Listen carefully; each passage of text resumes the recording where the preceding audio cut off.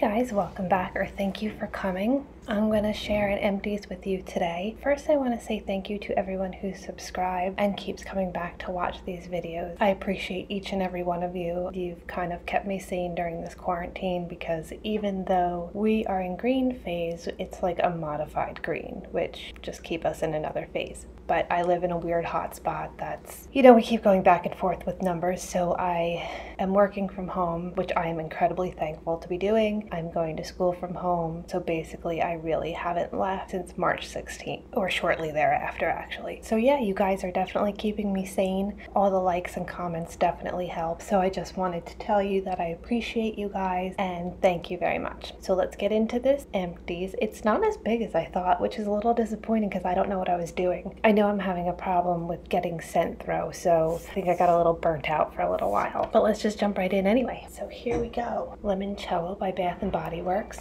It's, it's a nice candle. It did get a little yucky towards the end. While not pretty, it still kept its scent. Goose Creek. This candle burned so beautifully. If there's any soot on here, it's either from me lighting it or blowing it out because, you know, sometimes you don't have a little wick bender nearby. But it was beautiful. Too bad it didn't smell. Uh, Summer Slices was the first Goose Creek candle I ever bought and I fell in love. So naturally I would buy it again. Unfortunately, this one just didn't have any scent. I know there's been, I don't know if I want to say controversy. I know there's been talk about Goose Creek going through a phase of not having any smell. Yankee Candle did it, so it's not specific to Goose Creek. This might have been one of those. Kudos on the beautiful burn, honestly. You could not ask for better. One of the other reasons I'm trying to get away from big brand candles and wax is because they go through these phases and you know I don't want to spend my money on phases so I don't want to guess that oh hey maybe this is the phase that will smell so there's that it's a shame it is what it is Yankee Candle Pear obviously this sooted a little bit it was absolutely gorgeous, but I have white walls and well, I don't want to do this. That's a lot of freaking soot. It's too much. So beautiful scent. Yeah, no, I'm not having this much soot though. Bath and Body Works Love. Don't know when this is from. Maybe 2015. So it's old. Didn't smell. Burned nicely. I can smell it on cold. Didn't smell on warm. So there's that. The rest are wax melts. So these first two I'm so happy to be rid of. I've had them for ages. I can't even tell you how long I've had them for. Colonial Candle Grapefruit and Wheatgrass. And the wax was so soft I had to like scoop it out. There's nothing against soft wax. It was kind of gross. smelled great, but just kind of gross. Colonial Candle Berry Sorbet. This wax was a little bit harder and I know I got these two at the same time. Again, smelled great. They're old as dirt, so I'm happy that they did anything. Happy also also to be rid of them because I probably won't buy Colonial Candle again. Goose Creek. If any of you watched my other video um, about my Goose Creek collection and the notes that I wanted to get through this summer, you'll understand why I'm so happy about this. I will link, link that video down below, but I went through a grapefruit mandarin, a watermelon, which this one is, if you like watermelon, you'll love this.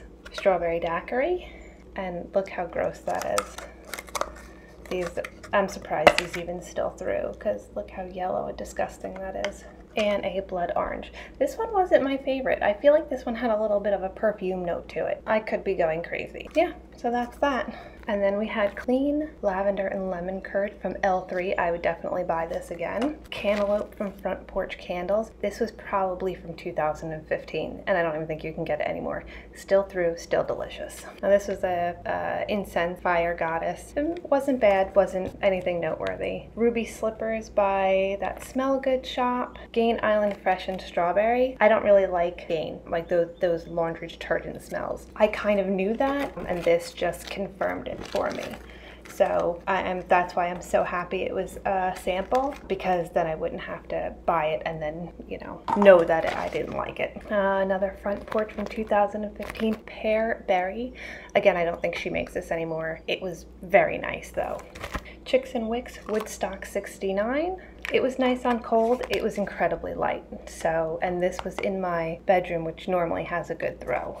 Chicks and Wicks Bahama Fizz. This I really liked. This was nice. Summery, fruity, islandy, case scented melt, freshly zested lemon. Gorgeous. To me, it almost smells like it has a hint of greenery in it. Just the slightest hint of like a lemon leaf I really liked it. Destination Wax Lavender Lullaby, a sweet blend of lavender, lilac, and mimosa flower.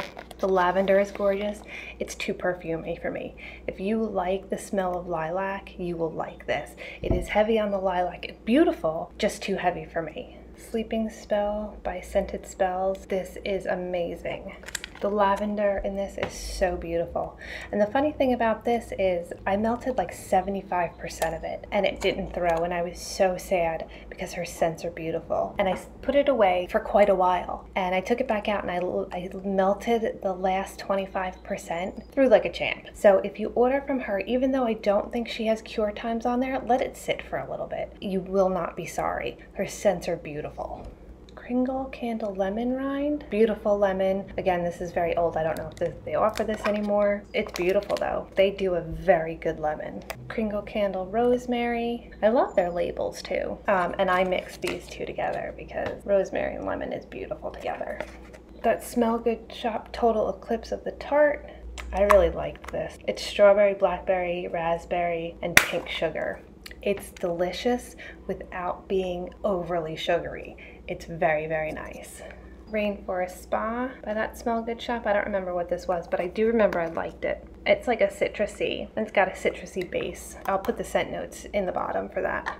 Satin Suzie Strawberry. I'm fussy about I'm fussy about a lot of things. I'm fussy about strawberry scents. This one was not one of my favorites. I just didn't care for the oil that much. It wasn't like an authentic harvest strawberry. But I mixed it with um, Rose Girls Lemonade and it was really yummy.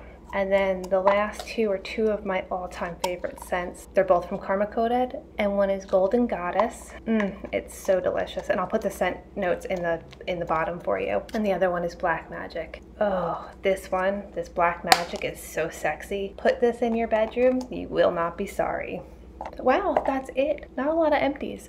I'm a little disappointed, but I was actually all over the place this past, past month. So it's okay. That's it. Thank you for coming. Thank you for spending this tiny bit of time with me. I hope you're doing well. If you like this video, please like, share, subscribe, leave me a comment. We'll talk about it all in the comment section. Oh wait, I found one more. Two more. Chicks and Wicks Lavender. This one was really nice. If you like lavender, I, I recommend this one. And Barrett Wax Crafts Clean Steel. This was a sample. I didn't know what I would think of this it was really nice. It was a hint of masculine without being over the top. I don't like masculine scents, so I will definitely um, put this in the description box as well. So now I'm done. So yeah, thank you for joining me. Please like, share, subscribe. Let's talk about everything in the comments. Even if it's nonsense and not wax related, let's just talk about it. So that's it. I hope to see you guys really soon. Bye.